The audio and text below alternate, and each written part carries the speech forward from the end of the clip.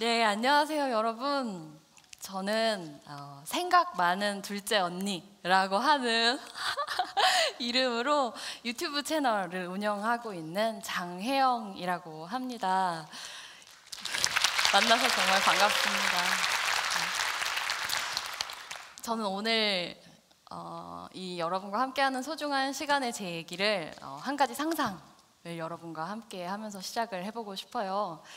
어, 이제 제가 어떤 말씀을 드리면 여러분은 이게 여러분의 일이다라는 생각을 하면서 제 얘기를 따라와 보세요. 여러분이 이제 막 13살이 되셨어요. 13살이 된 여러분에게 누군가가 와서 이렇게 말한다고 생각해 보세요. 너는 이제 네가 살던 집과 가족을 떠나서 네가 한 번도 본 적 없는 외딴 곳에서 한 번도 본 적 없는 사람들과 평생을 살아야 돼. 그게 네 가족들의 생각이고 너에게 거절할 권리는 없어. 그리고 그 사람은 당신을 데리고 갑니다. 그곳으로. 어떠세요? 그런 상상을 해본다는 것. 만약에 저에게 누군가가 그렇게 얘기하고 저에게 그런 일이 일어났다면 전 정말 끔찍한 기분이 들었을 것 같아요. 제가 방금 말씀드린 것은 바로 저의 한 살 어린 여동생에게 일어났던 일입니다. 제 동생은 13살 때부터 어, 중증 발달 장애가 있다는 이유로 어, 자폐성 장애와 지적 장애 둘 다를 심하게 가지고 있다는 이유로 가족들을 떠나서 무려 18년이라고 하는 시간을 어, 시골의 외딴 산 꼭대기에 있는 시설에서 살았어요. 어, 되게 부끄러운 얘기지만 저는 어, 굉장히 최근이 되도록 동생의 그런 삶을 동생 스스로가 선택한 적이 없었다는 것을 어, 한 번도 생각해 보지 못했어요. 그리고 그 사실을 깨달은 순간 어, 이건 굉장히 부당한 일이고 동생이 그렇게 그렇게 비인간적인 삶을 살고 있는 한 나에게도 인간적인 삶이란 없겠구나라는 생각을 해서 고민 끝에 동생을 약 7개월 전에 다시 시설에서 사회로 데리고 와서 둘이 살아나가는 네, 그런 날들을 보내고 있고요. 그런 날들을 이제 비디오로 브이로그로 만들어서 이제 저희 유튜브 채널에 업로드를 하고 또 이제 그거를 어, 좀더 압축적으로 보실 수 있도록 다큐멘터리로 만들고 있어요. 그게 바로 어른이 되면이라고 하는 저희 프로젝트입니다.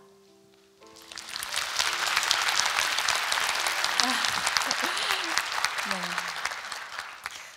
제가 이 이렇게 동생처럼 시설에 살고 있다가 다시 사회로 나오는 거를 탈시설이라고 해요. 그래서 말하자면 제 동생은 탈시설을 했다 이렇게 얘기를 할 수 있는데 제가 동생의 탈시설을 준비하고 있다라는 얘기를 주변에 했을 때 대부분의 사람들이 저한테 이렇게 되물었어요. 뭐라고 되물었냐면 비장애인도 이렇게 살아가기 어렵고 힘든 위험한 사회에 어떻게 네 동생 같은 중증 발달 장애를 가진 사람이 나와서 자립할 수 있다고 생각해? 오히려 동생이 안전한 그 시설에 있는 것이 더 나은 삶이 아니야? 라고 저에게 물었어요. 그리고 어, 탈시설을 한 지금도 이렇게 살고 있다고 하면 많은 분들이 이 질문을 저에게 하시고 사실 이 질문은 동생을 데리고 나오기 전에 제가 저 자신에게 가장 어, 깊이 물어봤던 질문이기도 합니다. 정말 생각해 보면 나도 이렇게 살기 힘들고 위험하다고 느끼는 사회에 어떻게 동생이 살아갈 수 있지? 내가 언제까지나 지켜줄 수 있는 것도 아닌데 내가 먼저 죽을 수도 있는데 그 다음에 동생이 어떻게 살아야 되지? 어떻게 동생이 자립할 수 있지?를 고민하는데 문득 그런 생각이 들었어요. 진짜 나는 어떻게 살고 있는 거지? 라는 생각이 들었어요. 근데 그 생각을 하는 순간 뭔가를 깨달았어요. 저는 제 동생의 자립이라고 하는 것이 마치 로빈슨 크루소처럼 인생에서 일어나는 모든 일들을 혼자 힘으로 다 해결하고 모든 위협을 헤쳐나가고 이런 것이 자립이어야 된다고 어느 순간 생각하고 있었어요. 근데 제 삶을 돌아보니까 저의 인생 전체는 늘 누군가에게 그때 그때 가장 필요한 도움을 받으며 누군가에게 늘 의존하며 나의 가족, 나의 부모, 친구, 선생님 혹은 이름도 모르는 수많은 사람들에게 의존하면서 하루하루를 살아가고 있었던 거였어요. 그런 내가 정작 동생에게는 전혀 다른 기준을 적용하고 있었던 거죠. 그때 저는 또 깨달았죠.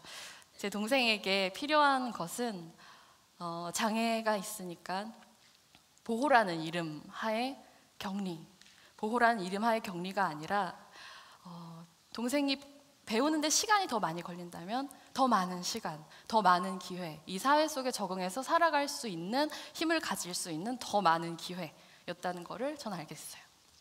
그래서 어, 아주 기쁜 마음으로, 아주 확신에 찬 마음으로 동생을 사회에 데리고 나와서 이제 살게 됐습니다. 어, 어떤 분들은 그렇게 얘기를 하세요. 좋은 시설을 만들면 되지 않느냐. 좋은 시설도 있지 않겠느냐. 그렇게 생각하실 수 있어요. 하지만 그렇게 말씀하시는 분들은 시설을 잘 모르시는 분이라고 저는 감히 얘기하고 싶습니다. 전 수많은 시설을 동생이 살았던 시설 이외에도 돌아보았고 그 수많은 현장에서 일어나는 일들은 너무나 일상적인 인권 침해 그리고 눈앞에 있는 그 사람 이 아무것도 할 수 없는 사람이라고 하는 것을 너무나 당연하게 전제하고 그 사람을 매일매일 대하는 사람들 그런 것의 연속이었어요. 그리고 어떤 분들은 아마 뉴스로 지나간 어떤 학대에 관련된 사건들 이런 것들을 기억하고 계시는 분들도 아마 계실 거예요.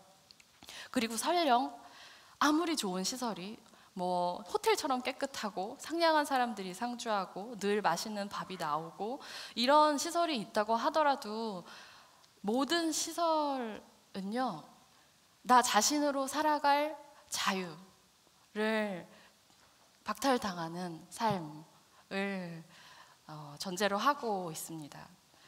내가 누구를 만날지, 어디에서 살지, 누구와 친구가 되고 싶고 누구와 되고 싶지 않은지, 내가 어떤 삶을 살고 싶은지를 능동적으로 결정해 나갈 수 없는 삶을 과연 우리가 인간적인 삶이라고 부를 수 있을까요?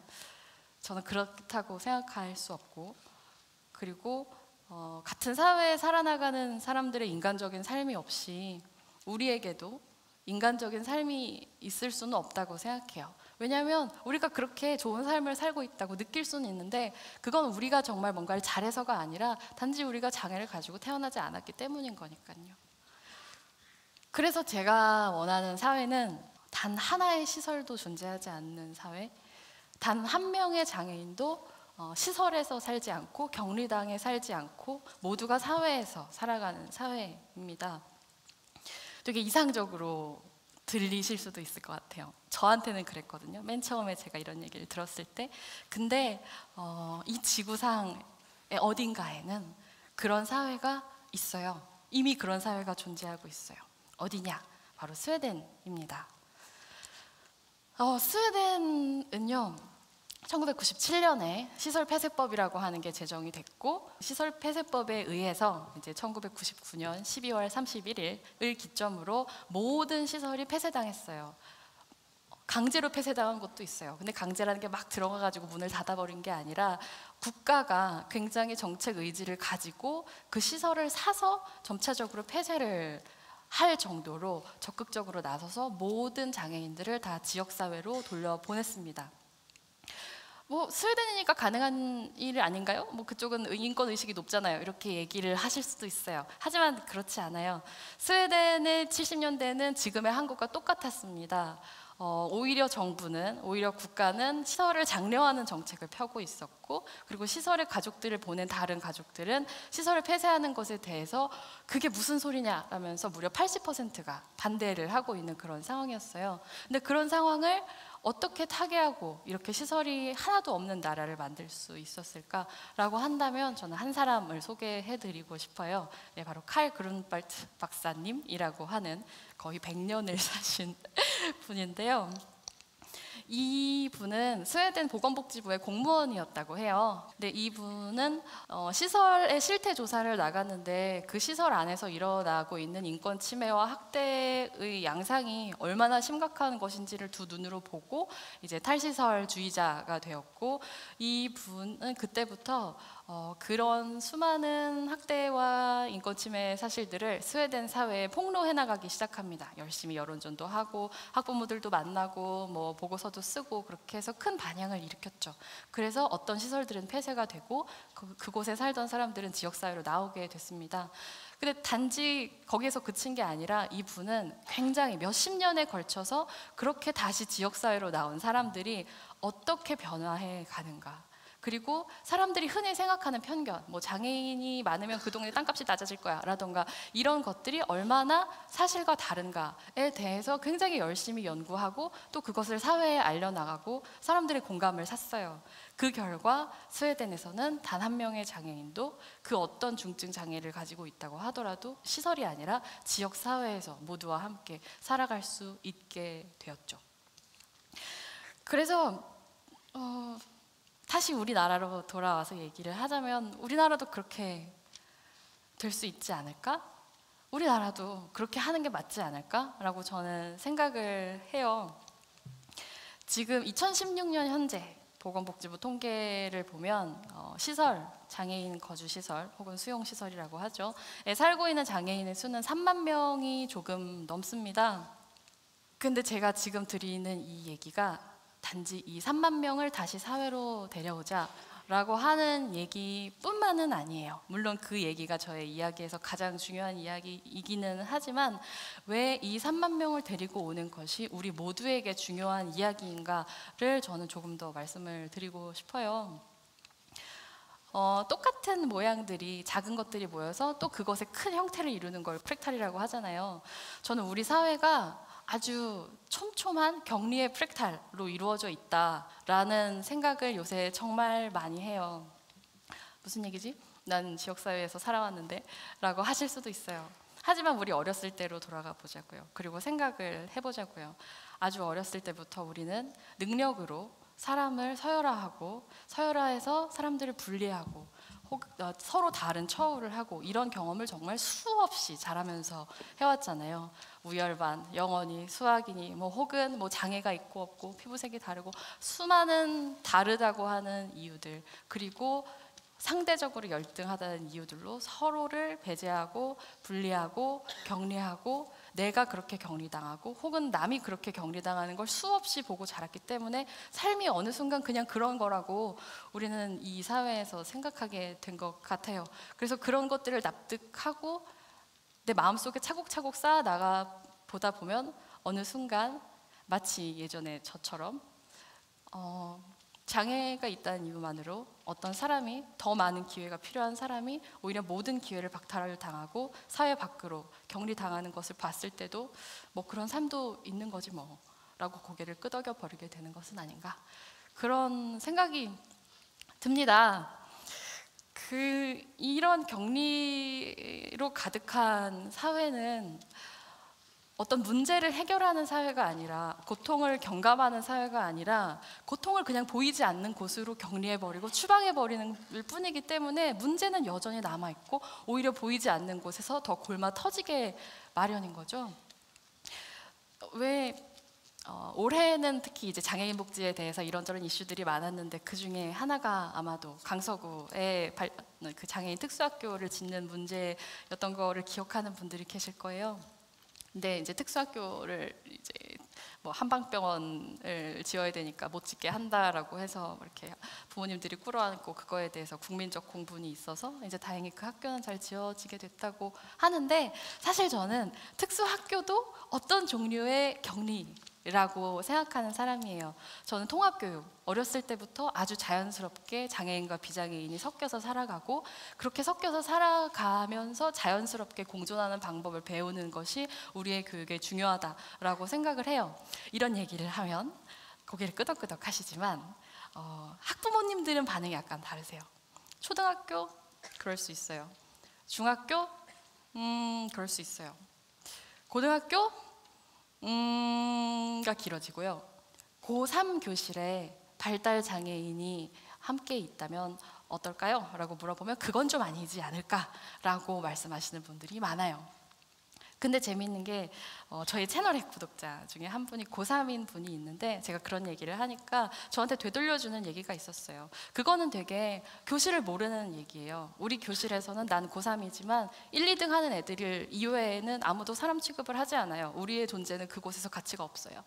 라고 얘기를 하더군요.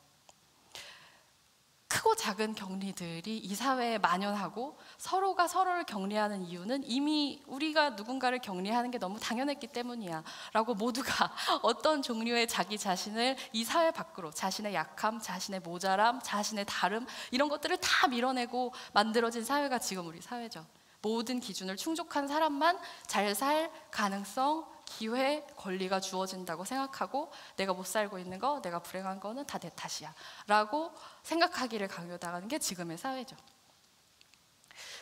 근데 이거 너무 좀 이상하잖아요.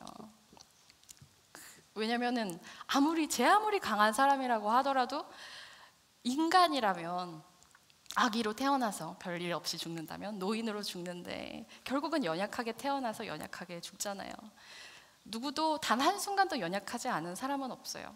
그렇다면 우리는 왜 약자를, 약한 것을 자꾸 밀어내는 사회를 이대로 두고 있는가? 왜 이 격리를 여전히 이 사회의 철학으로 가지고 있는가? 이거에 대해서 저는 의문을 제기해야 된다라고 생각합니다. 어, 동생하고 같이 사는 날들이 이제 약 7개월 정도가 되고 있는데 어, 그 시간 속에서 저도 이제 좌충우돌 하는 일들이 되게 많아요. 오랜만에 같이 사니까 뭐 사실은 뭐 18년 만에 같이 사는 거니까 거의 남이랑 사는 건데요. 그럼에도 불구하고 동생과의 날들이 저에게 희망을 주는 것은 그 매일매일 속에서 제가 느끼는 것이 그래도 살려고 하면 사라지더라 라고 하는 느낌을 주기 때문인 것 같아요. 단지 개인의 노력만이 이 모든 격리의 구조, 우리 사회에서 우리 모두의 고통을 밖으로 쫓아내고 숨겨버리고 있는 구조를 구축할 수는 없다고 생각해요.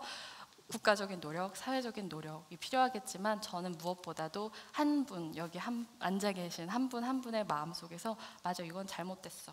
라고 생각하는 신념이 생겨나는 것이 이 모든 것들을 변화시키는 좋은 출발점이 될 수 있을 거라고 생각합니다. 어, 이제 막 신년이 됐는데 이런 말씀으로 오늘 여러분의 저녁을 마치게 되는 것에 대해서 저는 굉장히 감사하고 어, 영광스럽고 그래도 우리 사회가 이런 이야기를 이렇게 할 수 있는 데까지는 왔구나라고 하는 점에서 굉장히 희망적인 그런 마음을 갖고 있습니다. 여기까지 들어주셔서 감사하고요. 사용하는 불정이었습니다.